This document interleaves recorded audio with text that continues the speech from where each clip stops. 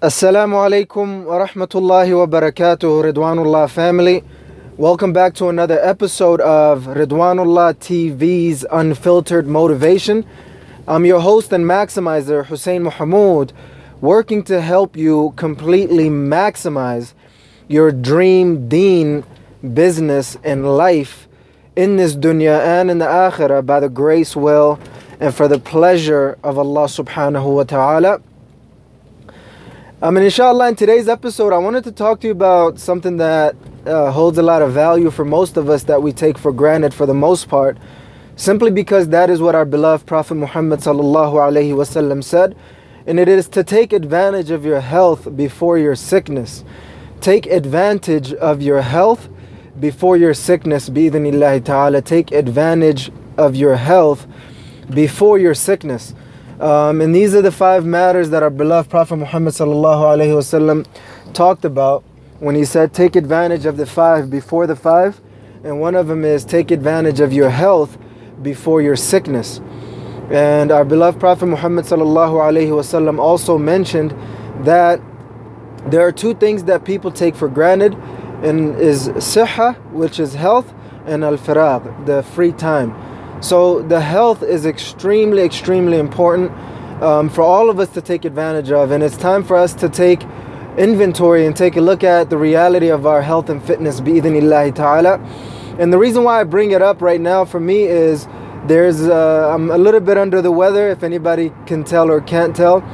Um, Alhamdulillah Rabbil Alameen, it's almost like uh, flu-like symptoms somewhat of a level of some minor level of bronchitis that I could sense a little bit, a little bit of dry cough and things like that. Just kind of uh, with the season and the changing weather that we're going through, you know, um, some individuals might be having really bad health. Um, I've, I've had friends, family members um, in the hospital at this particular moment. I ask Allah subhanahu wa ta'ala to cure and heal them um, as well as all of the Muslims across the globe who are suffering from spiritual, psychological, and physical, and or otherwise um, different levels of health and fitness issues. Bi'idhnillahi ta'ala. So it's important to take advantage of that, bi'idhnillah, because it's one of those things where you don't really realize how good you have it until it's gone. You know, we take our health for granted. We just running about. You know, for those of us who are, you know, reasonably health and fit, uh, healthy and fit, or extremely healthy and fit internally and externally, uh, we really have to maximize the capacity that Allah subhanahu wa ta'ala has given us by utilizing our health and fitness in ways that will help us achieve the pleasure of Allah subhanahu wa ta'ala. And those who are going through extreme uh, conditions of health and fitness, you know, may, might have broken something, might have some sort of sickness and disease that in a million years that they've never could have thought about. You know, spiritual illness, mental illness, physical illness, financial illness, relationship illness, and you know, health kind of transcends just the physical element. It goes a little bit deeper than that, a little bit more higher than that. So I ask Allah subhanahu wa ta'ala to cure us in all levels of our health and fitness and allow us to be amongst those who take care of their health and fitness. I've been one of those individuals who've been trying to lose, you know, five to 10 pounds or so for pretty much all my life. Um, um, but Alhamdulillah Rabbil Alameen, I'm a lot more conscious about uh, my health and fitness. I'm a lot more knowledgeable, even though I don't make the proper decisions. Most of the time, I'm getting better slowly but surely, bi'idhnillahi ta'ala. So it's important to take care of our health. Um, you know, Alhamdulillah Rabbil Alameen, I'm doing the best that I possibly can to take care of my health and it's not nearly as close, is not as near as where I need and want to be.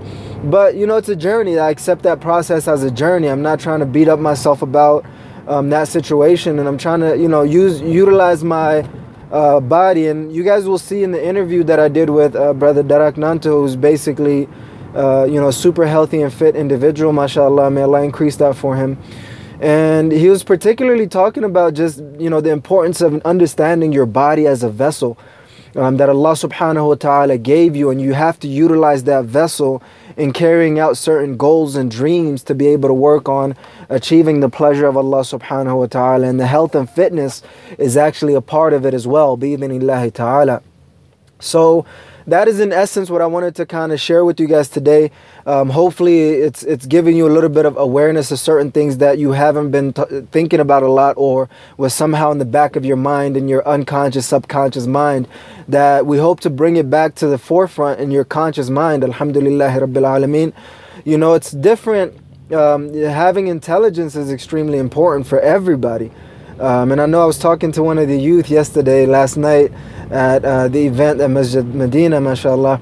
Um, he's just kind of picking my brain and telling me I'm smart or intelligent. And I was looking at him, I'm like, it takes it takes one to know one, you know?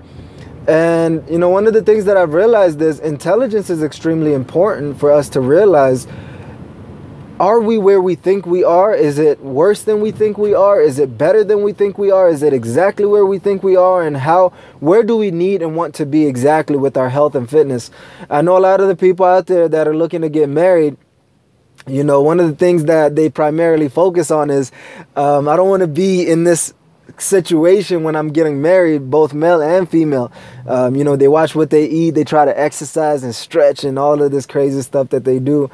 But how can you make that a habit? How can you make that a reality? And for me right now, there are certain particular areas of my life that I'm focused on right now that I haven't really been covering a lot, like uh, my finance, uh, my freedom, my wealth, my work. Um, that's the seventh category of life that you know I try to really focus on, and I'm gearing up to creating a little bit more content around that to help individuals gain a little bit of consciousness and awareness to be able to change that area of their lives. But as of today, we're going to be really focused on health and fitness. Um, that is actually number two out of the seven uh, parts of life that we continuously have to completely maximize for the pleasure of Allah subhanahu wa ta'ala. So I hope that this was a little bit enlightening, uh, at the very least, a reminder, um, not only for myself, but everyone who's watching. I truly, truly appreciate um, all of the individuals who are showing love to, to the work that I do. Um, that you know come up to me that that press the like button the heart and all of this amazing love and support that they show online and even more importantly the individuals that approach me offline that you know what I mean tell me how appreciative they are directly. And you know it takes a lot of humility to be able to tell someone that you enjoy their work and you you you, you like what they're doing. Um, and I truly truly appreciate those individuals because um, you know it's it's it's really hard to to put put aside our ego to to be humble enough to gra- to be grateful to individuals. Um, and that's a quality that I admire a lot and I'm hoping to uh, improve on that myself, bi'idhnillahi ta'ala. But before that, we really have to improve on our health and fitness. Um, I hope that you do as well. Um, as usual, I'd like to leave with a challenge. Um, and I hope that you can leave your comment below on that challenge. Um, ta'ala, my challenge to you is to assess out of 100% where are you with your health and fitness. As of right now, since I'm a little bit under the weather, I'm gonna say about 35%. Um, and inshallah, in the next week or two, I'm going to work on getting that to at least 60%, if not more, bi'idhnillahi ta'ala. So I hope you can leave that comment below and just let me know some of the things that you normally do or would like to do um, to, to, you know, improve your health and fitness, bi'idhnillahi ta'ala. Um, Jazakumullahu khair, Ridwanullah family. Um, before I check out, please subscribe to the channel um, and press the notification bell to join the Ridwanullah family. Um, and if you've liked this video, please press the like button. It shows me um, that you actually like what I do, uh, ta'ala. And, you know, if you know someone who could benefit from improving their health and fitness, or at the very least, a reminder, um, Islamic reminder, send this video to them, bi'idhnillahi ta'ala um, and share this video with them, bi'idhnillah. Um, Jazakumullahu khair, Ridwanullah family, for tuning in to another episode of Ridwanullah TV's Unfiltered Motivation. I'm your host and maximizer, Hussein Mohamud, checking out by saying, never ever give up on completely maximizing your dream, deen, business, and life in this dunya and in the akhirah by the grace, will, and for the pleasure of Allah subhanahu wa ta'ala.